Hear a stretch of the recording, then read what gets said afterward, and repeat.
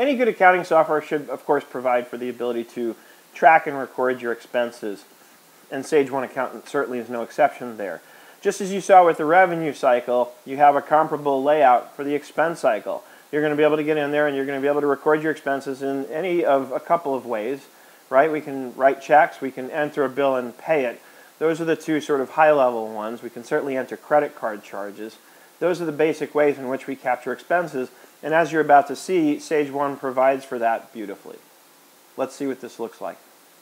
So we're over here in the sales area, and before we jump in to expenses, which is what this lesson is about, I wanted to show you what we've got here. Now, it apparently doesn't distinguish between sales and contributions, just money in. You know, we're looking at sales here because if you remember, the 150,000 was not actually income; it was based on owner contributions. But that is showing up here on the sales summary. Uh, you also have, and we'll cover this in more detail in the reporting lesson, which is next. Um, we've got this nice little cash flow statement that shows cash flow and a little cash flow forecast. So really cool stuff. Um, a lot of features here that uh, you just don't see anywhere else. Really good. But now we want to record expenses, and it's not going to be rocket science here in terms of how to do that. We're going to come over here to expenses, and we can enter bill, we can enter enter a vendor credit note, or we can do a quick entry. And of course, if we go over to banking,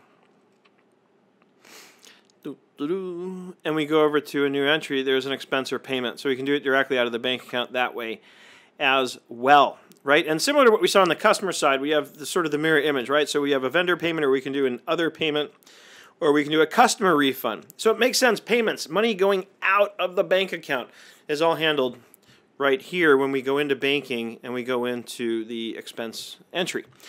Um, so over here back on expenses, we can enter a bill. And again, it's really just, uh, at this point, a matter of filling out a form. Filling out forms. So we're going to need to create a new vendor. And of course, just as with a customer, we can do that directly in the contacts area, or you can do it right from this dialog, which is really helpful. So the vendor is going to be I sell stuff and uh, not going to do a reference, of course, and as I mentioned earlier, I'm not going to make you watch me fill out forms. I'm sure you can figure out how to do that. But just quickly looking at what the choices are here, you can set the default expense ledger account for this vendor, which is really helpful, obviously, because in many cases, every time we pay the same entity, it's for the same thing, which means the expense account should be the same. And that doesn't mean that you won't have the opportunity to change it should you want to do it to some other account, but at least this will save you a lot of time in data entry, generally speaking. And then we have bank details, which as I mentioned on the customer side, the fact that this is here gives me a clue that possibly, now that we're looking at the vendor side, I might be able to use this information to pay my vendors. And of course, we can make notes about the vendor.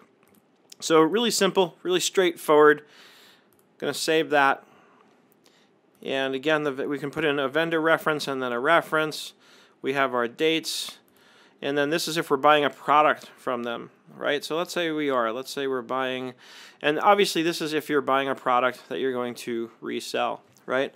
So the ledger account, of course, for the product that we're creating, sales of materials, right? So the item code would be, let's just say, uh, one, two, three, dash four, five, six, pocket protectors right? For our old school accounting friends, description will be pocket protectors, right? Goes to sales of materials. Uh, tax rate will take the default from the customer. The selling price will be, and look, you can set up three different selling prices, right? So let's just say that uh, the selling price of the pocket protectors will be $5.99. Okay, and we'll leave the others blank. We'll say the price does not include sales tax. Now we have the expense details. So the default ledger account will be the uh, uh, will be cost of sales, and the cost price. What does it cost me to buy it? Well, if I'm selling it for five ninety nine, hopefully it doesn't cost more than three dollars. Let's call it a dollar ninety nine. So we're buying our pocket protectors for a dollar ninety nine and selling them for five ninety nine. Get a nice little markup on that. Okay, and now so now we've got our pocket protectors the ledger account goes to cost of sales, and then we're going to click Save. And guess what I want to do now? Let's run the balance sheet. Let's go to the videotape. so there's my accounts payable for $1.99, right? Oh, and look, there's my accounts receivable for 250 right? That's from the last lesson. We booked the, invoice for 500 and anyway. Um, so we got that. And then let's run the profit and loss. Because now the profit and loss should show my cost of sales of $1.99 and sure enough, it does. It sure does. So that kind of takes care of our products and services. And of course, now we could, you know, obviously go out and sell those products. Let's go into this area though here since we touched on this um, on the expenses side here. So let's go into products and let's see if it looks any different when we're creating a product directly from here. We're going to go new product. And we have the item code. So far everything looks the same. It's just laid out a little differently. Here's the expense defaults. And no, so it's basically the same information. It's laid out a little differently, but all the information's here. And so one thing that you might have gathered by now, just from looking at it, and if not, I'll point it out, is that we are not able to track inventory just yet in Sage One accounting. My guess is that's coming, but uh, right now you can just track the fact that you sell the stuff and what you sell it for. So everything has to run through cost of goods sold essentially. You're not going to track inventory using Sage One just yet. But like I said, that is probably coming soon enough. So there's your products and services. We covered the services really fully in the uh, revenue cycle lesson, but on the expenses. Uh, so now we know how to enter the bill, okay? And of course we can do a quick entry. We didn't look at the quick entry on the sales side, so let's just look at it here. New quick entry. And again, it just kind of takes you right into the line item form, right, where you don't have to fill in any of the other stuff. So, and then you can click the vendor from the drop down right? And then the ledger account and the details. Um, and notice what you don't have here is you don't have the product. So this is you're going to go straight to uh, booking the ledger account. You have uh, you can do invoice or credit, right? So invoice obviously we're on the uh, ledger side, so we're on the expense side. So an invoice meaning a bill from a vendor, right? Uh, a credit would be if we're getting a refund from them.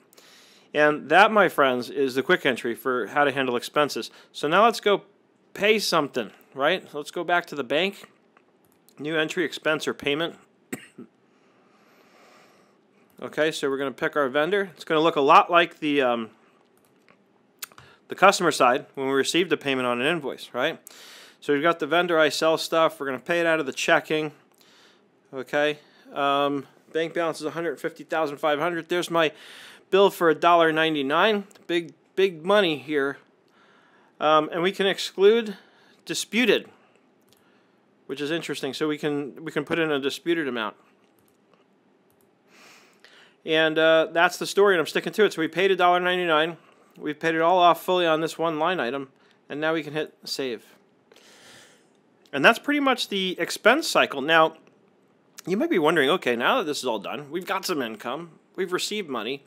Can I reconcile the account? Yes. And I know that's going to be a, a, question a lot of people are going to be asking because, as I mentioned in the beginning of the first lesson, um, if you haven't taken a, a new look at um, at uh, Sage One in a while, then you're definitely going to want to look because a lot of people I know balked in the past because there was no bank reconciliation. Well, now there is. So now you have no excuses. You have to start using Sage One for your clients because it can do bank recs. So that, my friends, gives us some sort of uh, clarification there on how the uh, banking side works with respect to the expenses. So we, again, we have vendor bills, we have credit notes, and then we have quick entry. So credit note, of course, is, and that's why you saw in the quick entry, the CRN stands for credit note, CRN.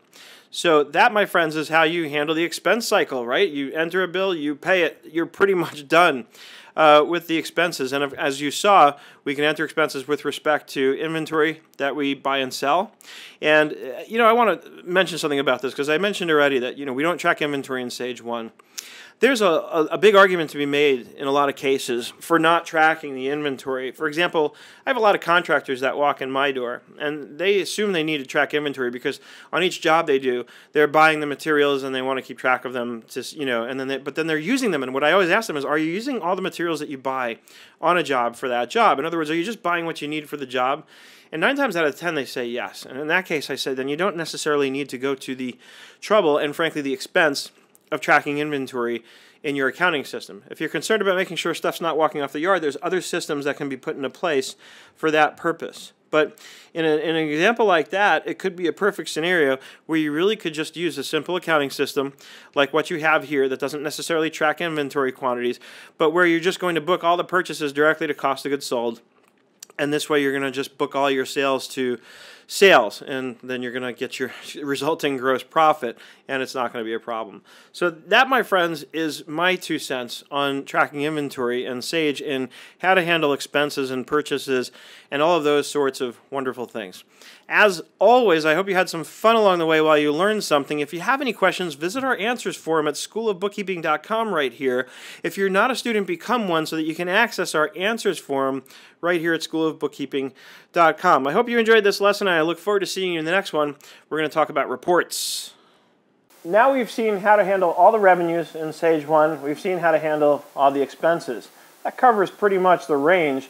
Now it's time to take a look at what the output is. And I always talk about this in a general sense when it comes to any accounting software. We have the input, which is entering transactions. That's what we've seen so far.